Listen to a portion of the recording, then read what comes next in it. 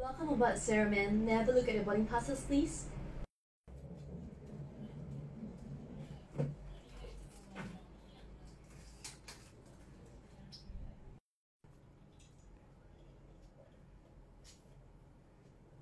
Excuse me, ma'am. Would you like to have a drink? Do you like to have a cup of coffee, tea, or main? Oh, you want to have two treat only. Okay, I'll get it for you in a short while. Give me a moment. I'll come back to you. Welcome to Singapore, ladies and gentlemen, and to all Singaporeans and residents of Singapore, a warm welcome home.